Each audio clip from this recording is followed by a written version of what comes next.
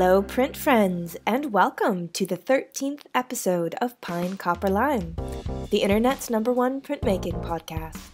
I'm your host, Miranda Metcalf. I release an episode of the podcast every two weeks, and on the off weeks, I publish an article on the Pine Copper Lime website. Last week, the article was about Mirabo Press in Buffalo, New York. I spoke with the three co founders about their journey from meeting at SUNY Buffalo converting a 6,800 square foot factory into their dream studio. They just opened last August, so it's some pretty new and exciting stuff. Give it a read. Let me tell you, friends, it is some pretty fun times over here at Pine Copper Lime headquarters in Sydney. First and foremost, I want to give a huge thank you to anyone who has come on board as a Patreon supporter you have officially bought my love. And for anyone who's wondering, yes, that does start at just a dollar a month. If you haven't had a chance, head on over to the Pine Copper Lime Patreon page and check out all the levels. It's some pretty good stuff. And honestly, it's just wonderful to see this community growing. And I'm just getting started. I actually have a big announcement, but you're gonna have to tune in again in two weeks' time to hear it. I'm super close to being ready, but I want to make sure everything is perfect for you all before I launch. It's gonna be a pretty big deal, and I have some special perks just for all you loyal Pine Copper Lime listeners that I can't wait to share with you. Printmaking forever, shun the non believers, join the party. My guest this week is Craig Anczelowitz from Awagami Factory a paper mill which has been making washi by hand for eight generations. Awagami is located in Yoshinogawa Village on the Shikoku Island, which is the smallest island of the big islands which make up Japan. There, the mountains and rivers provide the fiber and water necessary for washi paper making. As you'll hear, I'm super prepared for this interview, and I completely mess up the title of the factory at the very beginning. So bonus. But Craig is a really generous guest and has incredible information to share about everything that's going on at Awagami Paper. We talk about their residencies, exhibitions, the on site museum, the differences between Western and washi paper, and just the incredible history of that factory. And to put some icing on this cake, Awagami has partnered with Pine Copper Lime for a giveaway of 50 sheets of their editioning paper. That's all happening over at the Pine Copper Lime Instagram page, so head over there if you want to join up. As always, there's a link in the show notes. Without further ado, here's Craig. Hi, Craig. How's it going? Morning, Miranda. Thanks for having me. Yeah, thanks for joining me. I think that you might be the um, closest in time zone to anyone I have ever brought on Pine Copper Lime before. All right. Yeah, it was actually we're both in the morning for once. The future. Right, exactly. Yeah, you and I in the in the eastern hemisphere we're we're used to the uh you know, wishing happy birthdays a little bit early and all of that to our friends, I think. Well, I'm super excited to have you on um, because this is going to be a, something a little bit different for Pine Copper Lime is I'm talking to someone who is a printmaker, but also you're a part of the amazing Awagami print factory. Or I guess is or is what's the what's sort of like the official title? You guys the Awagami Print Factory, the Awagami Print Enterprise? Like what's your your full official title? Yeah, we have a we have a couple of different titles. The the, the full Japanese name is so long I won't get into it, but for International, you know, we just go by Awagami Factory. Of course, we're first and foremost a paper mill, long, long established. And then more recently, we've been developing the, the print side of the business, working with printmakers and so on and so forth. But for paper making, or Japanese washi, um, we are now eight generations strong. That is amazing. So now you do, as I sort of alluded to, you have a personal background in printmaking, right? You studied it? Yeah, way back in the day, um, in the 80s, I and early 90s, I studied uh, printmaking and have my MFA in printmaking and papermaking. The paper thing came as a direct result of being, you know, the poor printmaking student, and I needed to make paper to edition. And I fell in love with the papermaking process as I was doing lots of woodcuts, which was also a very, you know, hands-on, tactile print form. So making paper, doing these woodcuts um, seem to go hand in hand. So yeah, I'm really happy now to be involved in paper so I can talk to printmakers because I, I know their struggles and their questions. I've been through it before, so I'm, I'm happy to demystify uh, washi Japanese paper for them. Yeah, definitely. I would love to get into some of that the differences between the the washi and the western style paper when we we get a little on because I know that's something that many printmakers are curious about. But you're from New York City, um, but you've lived in Thailand, and now, as we just were chatting about, you're based in Osaka at the moment. Uh, how did you end up making that transition? Yeah, well, after um, university, went back into the city, into New York, and started working as a buyer for Kate's Paperie, which was like this uh, wonderful paper emporium, uh, three or four stores in Manhattan and we carry thousands of papers for all kinds of art and craft and hobby and correspondence and so on and so forth.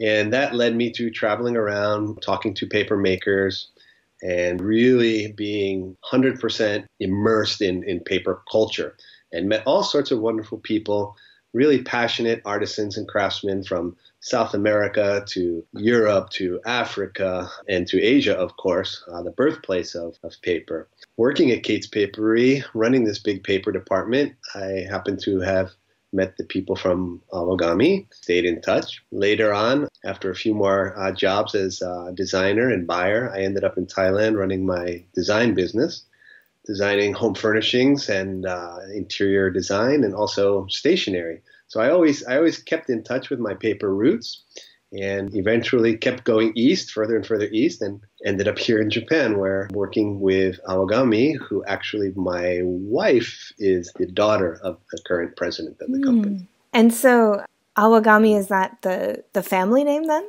No, well, Awagami breaks down to Awa, A W A, is the old name of the region where the mill is located. Mm. And if you're Japanese, right. you, you, kind of know this this word awa. Uh, it's for a, a, region in Shikoku, which is the smallest of the main islands in Japan, and it's an agricultural heartland. So that's awa, and then gami, G-A-M-I, is just a, it's another word for for paper, like washi. So awa gami is paper from the awa region. And so Awagami Paper Factory, it's been going on for eight generations, which is incredible. So I'd love to hear you talk a little bit about that that history. I'm sure there's some amazing stories in there. Paper making, of course, um, began in China um, 2,000 years ago or so, and uh, eventually made its way through the Korean Peninsula and into Japan, where it was really, I wouldn't say perfected, but was, you know, as Japanese tend to do, they, they really treat things as an art form and push the creative potential of things, including paper, and it really flourished here in Japan. So for us, our region has always been an agricultural heartland. So starting in, I would say it's about the 8th century, about 1300 years ago, our region started cultivating kozo or mulberry and, and hemp for paper making, for nobility, the shogunate and the ruling class. So paper making in our region is about 1300 years old.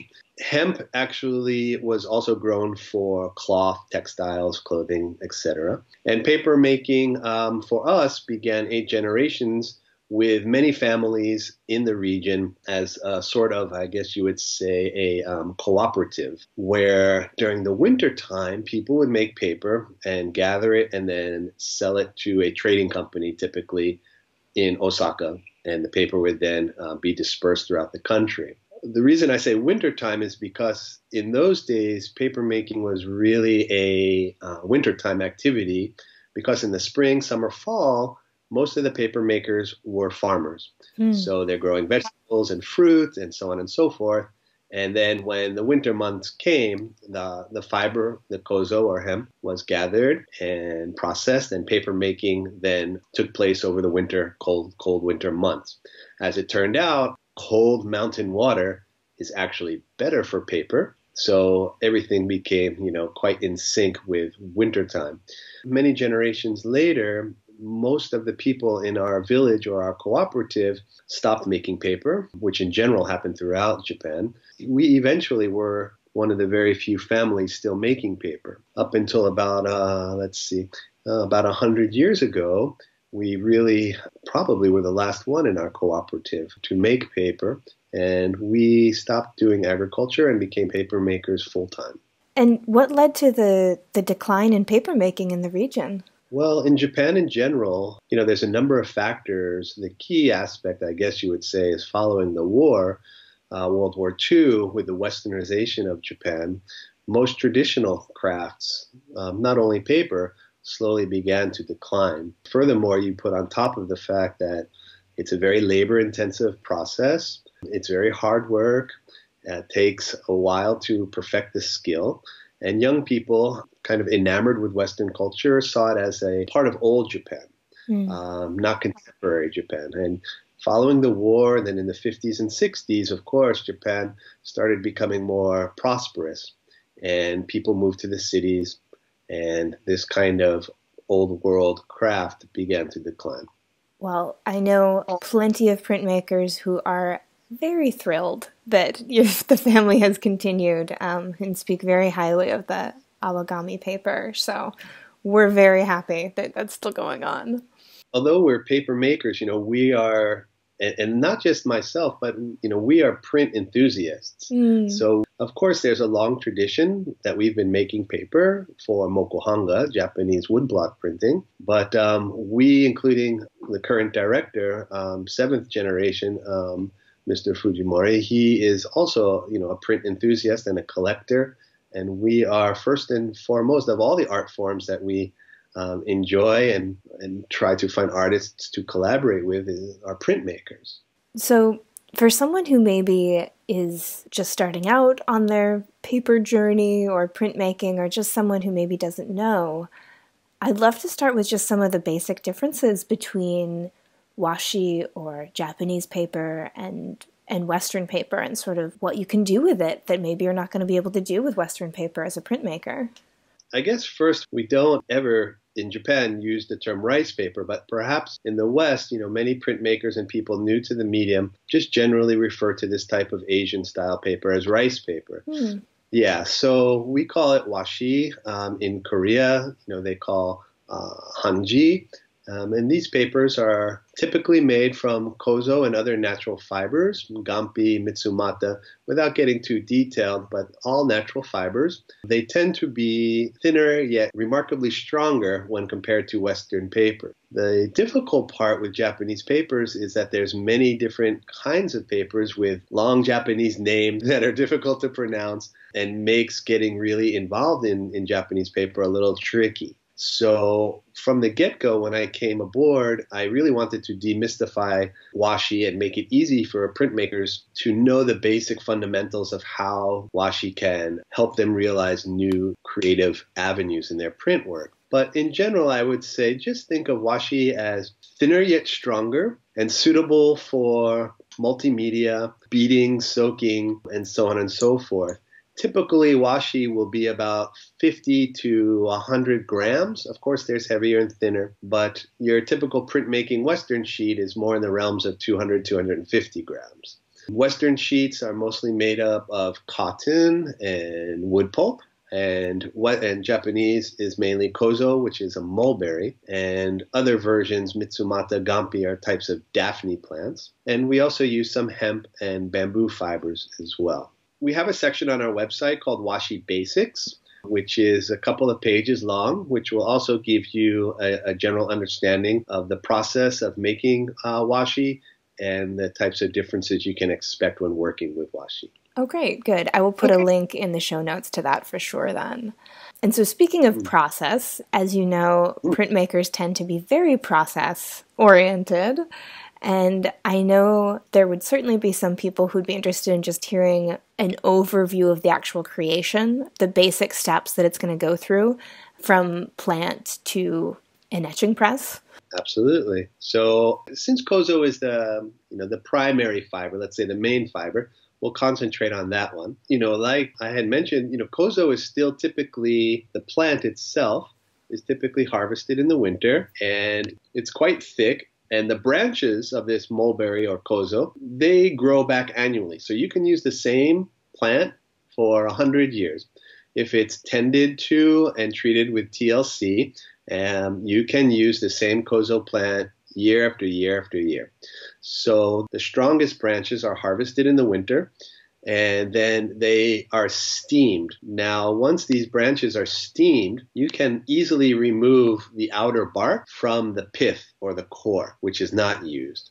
That outer bark contains three layers the barky, woody layer on the outside, and then there's a green layer of fiber in the middle, and then the inner part um, has a white fiber, which is very, very long. They must be separated so you get to that inner white So it's steamed, cleaned, and then eventually you get down to this really beautiful fiber that is later cooked to further break it down and make it a bit softer. And then it's beaten. You know, in the West, you would say, oh, the fiber goes in a Hollander beater.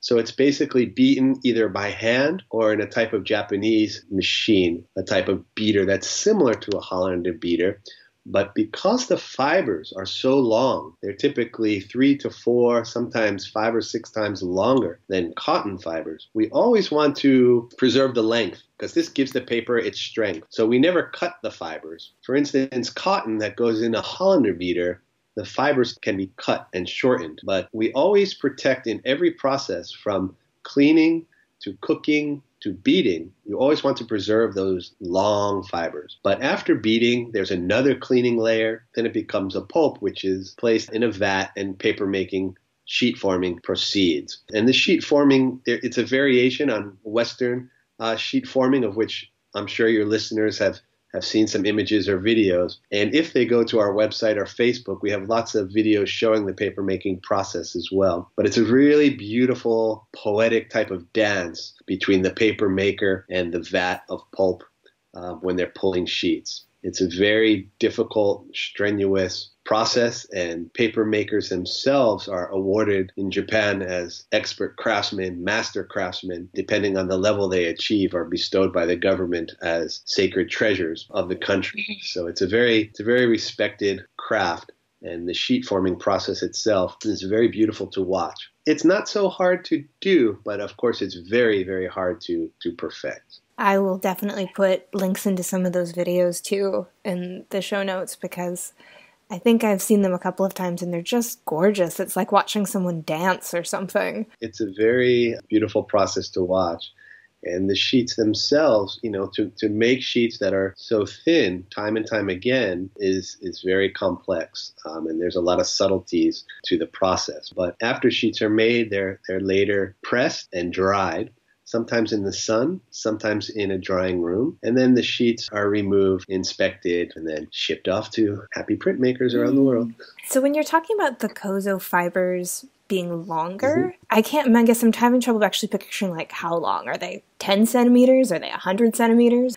Kozo, the fibers themselves on average would be about 10 millimeters long. They can be upwards of 15 millimeters. So let's say on average they're 10 millimeters. The interesting thing is hemp can be on average about 25 millimeters, so even longer and stronger, but with that length, it also becomes very coarse. Mm. So the paper is not quite as as luxurious or supple. For instance, Kozo at 10 millimeters is probably about twice to three times as long as cotton. And of course, it's about five or six times longer than wood fiber. So it's it's a real sweet spot for fine paper. Um, it gives you the, the strength, but it also gives you the flexibility, the suppleness that you need for different art and conservation purposes. And then what you were saying about how the plant can have a longevity itself if it's cared for in the right way, that must make this a pretty environmentally sustainable kind of paper making, then, yeah?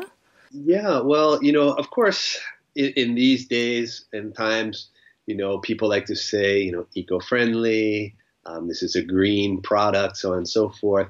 But, you know, in Japan, that has always been kind of part of the culture.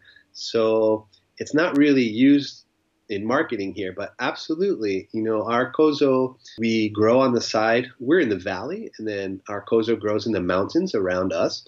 And we have one or two gentlemen who are out there tending to the plants, making sure that they are growing properly year after year. Um, sometimes we have some deer or other other animals that hmm. cross in and, and eat a bit. But the trees themselves, you know, they have to be pruned properly and they have to be cared for so that the yield um, every year gives us, you know, A plus fiber. And then also just to sort of take a little bit of a pivot here and move away yep. from the, the nitty gritty of the paper making. I also know that Awagami is actively involved in supporting artists through collaborations and residencies and exhibitions. Um, so I know that there are a couple of people have specifically asked me when I get you on the line to talk more about that, mm. and particularly maybe the Awagami International mini print exhibition that the call is going to open up about the time this podcast publishes.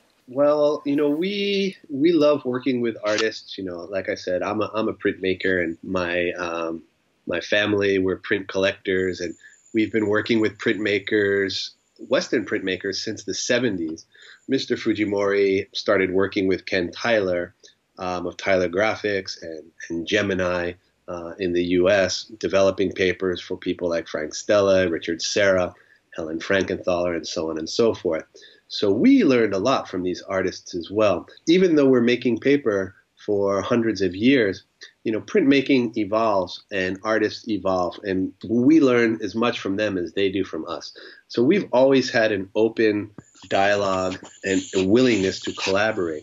Now, those are some, you know, pretty heavy hitting artists there, but we also love collaborating with even you know creative school children they can teach us things mm. printmakers painters mm all kinds of artists are interested in paper, but we found that printmakers, you know, have an inherent need and love for paper more so than other art forms, and um, we're always looking to to keep an open dialogue with printmakers, professors. We visit SGC and other printmaking activities around the world, trying to, you know, once again demystify washi and work in the spirit of collaboration so that we can we can all grow together and push printmaking and show people that print is not dead. Yeah. So whether or not that's yeah, yeah, creating a mini print exhibition or creating papers for hybrid, you know, digital plus traditional printmaking um, we are really hoping to push forward paper making and print making into you know the next generation and, and further along the line. The mini print exhibition you mentioned, thank you. Yeah, we open in um, May 1st is the call, uh, open call, and this uh, mini print exhibition is a um, just the third time we're doing it. We offer about ten thousand dollars in prizes, and this has become a really wonderful opportunity to show your prints in Japan. We exhibit all prints. Last one we had about 900 prints. So this this one we really we want to promote both contemporary printmaking but also washi. So all the prints entered must be on a washi paper. Now they can be on our washi, they can be on someone else's washi. We don't we don't mind as long as the artist is touching and using some kind of Japanese paper, we're, we're happy. We all support each other in this small community. Mm. So when you enter the mini print, yeah, you have the opportunity to work with washi. We will send papers to people to use if they haven't used them before. And uh, yeah, it's a really wonderful way to try washi paper. And we love to involve our local communities. So we exhibit all the prints. We travel the prints throughout Japan as well, the selected winners. We also hold workshops and symposiums at the mill and our paper museum during the exhibition.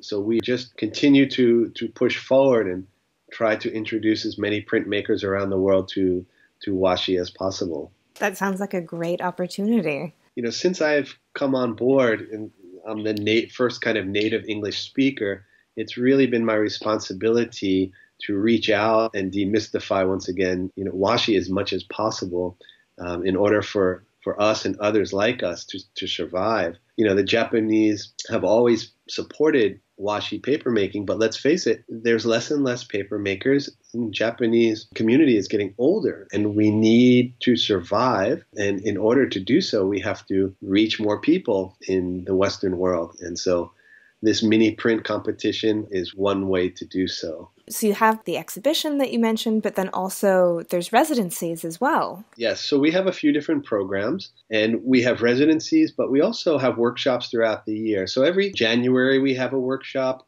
And then we have our big international workshop every summer for one week where we teach all facets of paper making as well as Japanese bookbinding, as well as indigo, natural indigo dyeing. That's a week long workshop open to everyone. But then we also host universities. So if you're a university and you have 10 students or more, we can make a program for your school. So we work with Princeton and RISD and University of Wisconsin and University of Kansas and some universities out of Singapore and Hong Kong. So we open the mill to custom tailor, you know, these these workshops for students. And then we also have residencies. We have a visiting artist program where we charge a very, very nominal fee for artists to come and develop a body of work. And then we have our fully funded, we call AIR, Awagami Artist in Residence. And that's a fully funded, we, we pay for everything for the artist to come and work for our uh, up to two months. And we do that every October. There's an open call for that, fairly competitive because there's only two spots, and we typically get about 80 applications. So it's uh, two months in October. What we're trying to do with finding those artists are artists who are looking to push the medium and either push paper or print or both. Really help the print and paper medium move forward.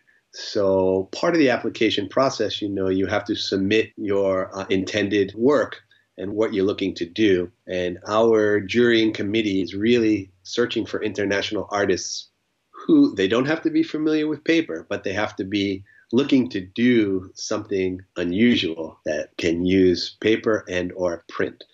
Now, connected to the mill, we have a full hybrid printmaking studio. So you can do etching and woodcut and litho and silkscreen and digital printing as well. So if you can combine digital plus traditional plus handmade paper, yeah, we, we really are interested in, in those kinds of artists. Oh, that would be so exciting to see what comes out. Yeah, and we've had we've had artists the last few years. We've had senior artists who are, you know, in their 60s and have an established career. And we've also had artists who just came out of college, literally graduated, and in their first fall, um, they came to, to work with us because their ideas were so outstanding that we we really wanted to to have them. So it's a it's a really nice way to push the medium. We'll send an announcement for this um, fully funded program in another month or so. So if you're on our mailing list, you just go to our website and yeah, you'll get an announcement in about a month how to apply.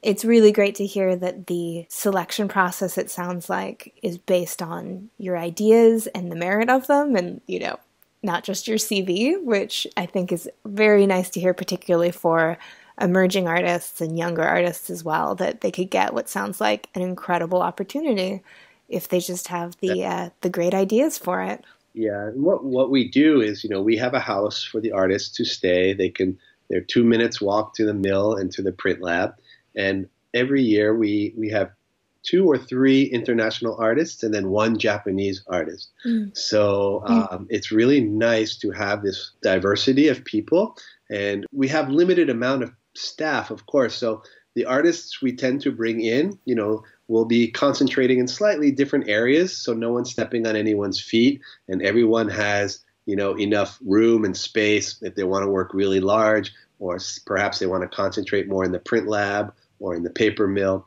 Um, so we re- we really like to have people who complement each other and and also who can get along. They have to live together for upwards of two months. So you know we want nice people too. yes, of course.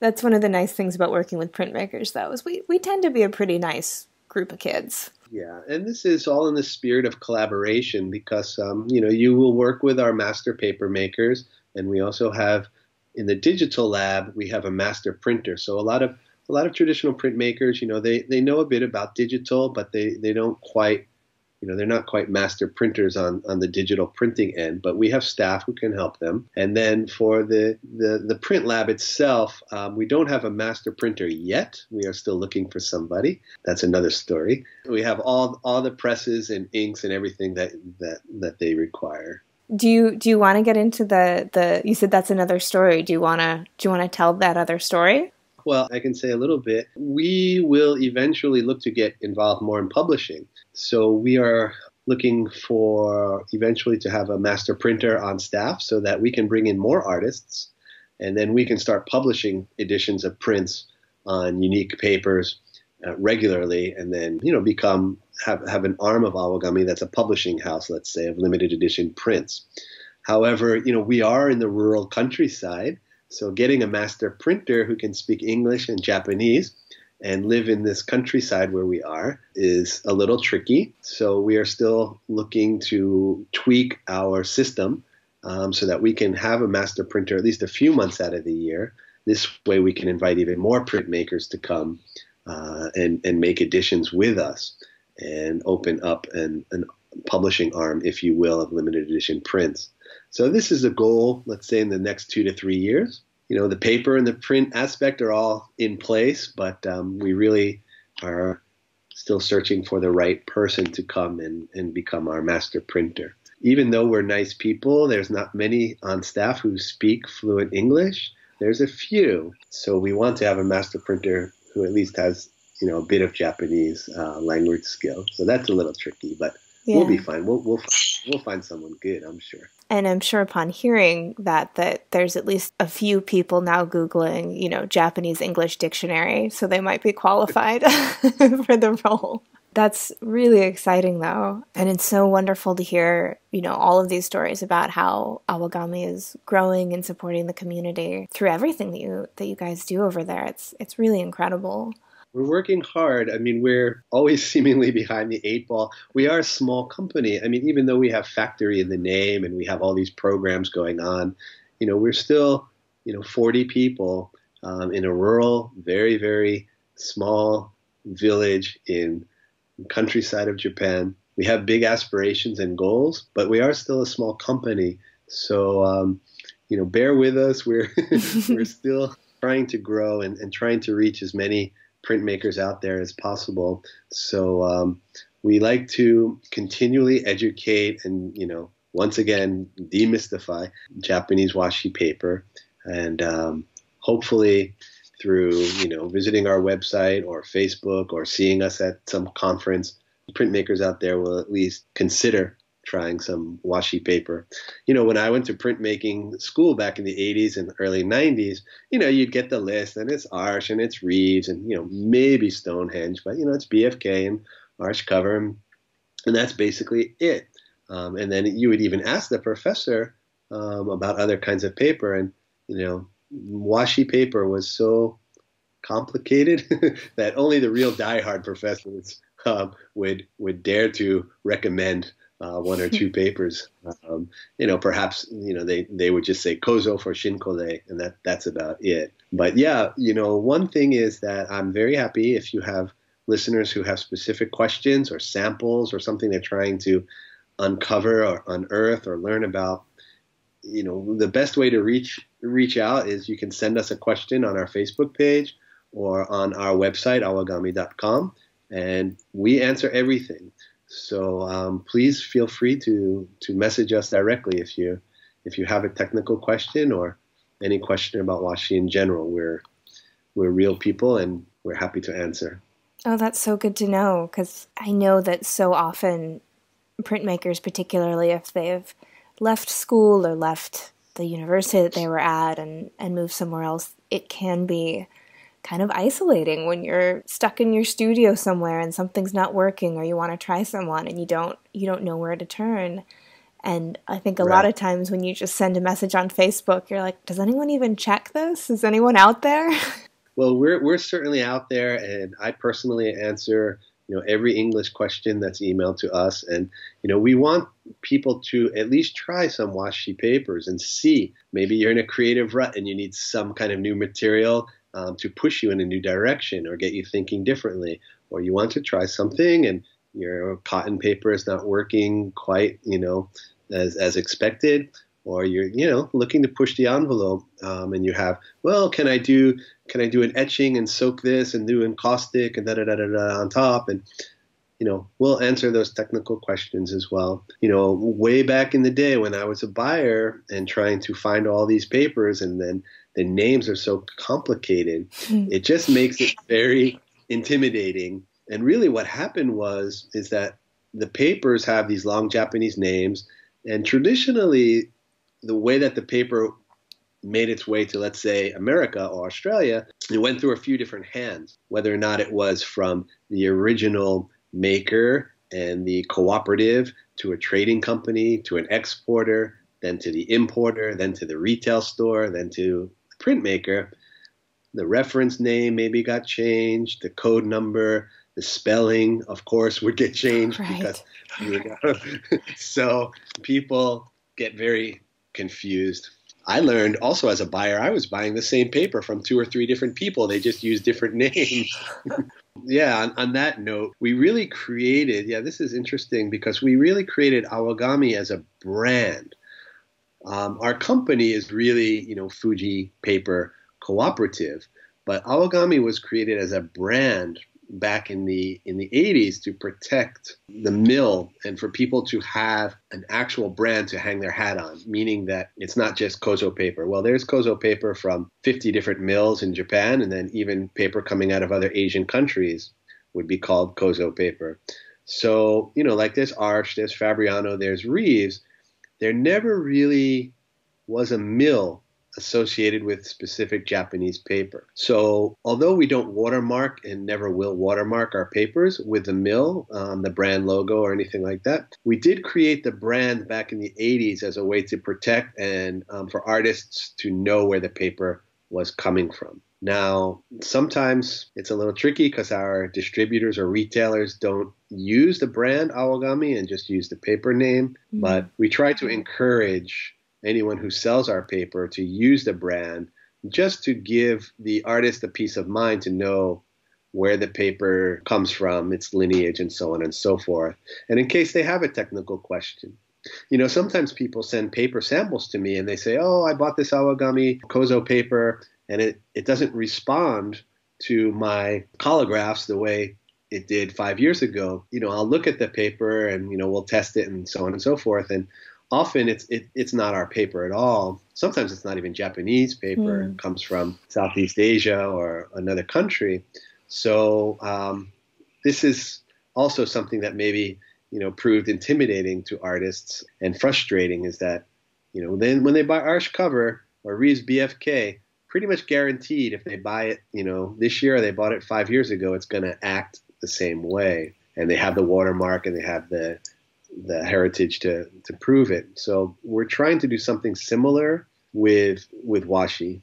That's such a good point that now that you mention it, it's kind of obvious, but it hadn't occurred to me before. You don't see the same brand names with washi as you do, as you say, with these, you know, the Rives and you know these big, big brand names with the the cotton paper. So of course that's going to get confusing for people. Yeah. Well, you know, in Japan, the paper maker, even even though Okay, we're a contemporary company. We're, the paper maker has always been the humble craftsman, and putting a watermark on the paper was they're too humble to do that. that mm. That's the artist. The artist puts the name on the paper, not the mill, not the paper maker. That's for the artist to put the name. So Japanese mills will never put a watermark on the paper. It just is kind of against the grain and the philosophy of the humble craftsman. But you know, we are in a different era and we need to survive. So we won't put the watermark, but we did create the brand name, um, and we try to encourage people to use it um, whenever possible. And this has helped us a bit to to survive as well, um, for people to know. And um, if anyone is hearing this and thinking, you know, I I really would like to try some of that paper, Awagami has generously donated to Pine Copper Lime's next giveaway. It's going to happen on the Instagram, which is 50 sheets of the Awagami editioning paper. So that should pop out probably about the exact same time that the podcast is published. So look at that and that could be your chance, printmakers.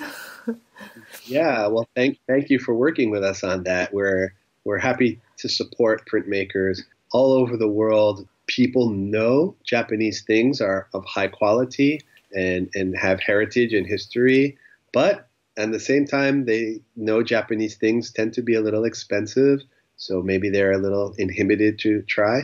But here's your chance. Yeah. You can win. and and uh, yeah, we um, we look forward to seeing whoever wins the paper, what kinds of prints they're making on the paper. So please share and repost and tag us so we can see what you're you're doing with our paper. Oh yeah, definitely. If the lucky person who wins shares what they make, I will definitely repost that on Pine Copper Lime as well so we can see what we're doing.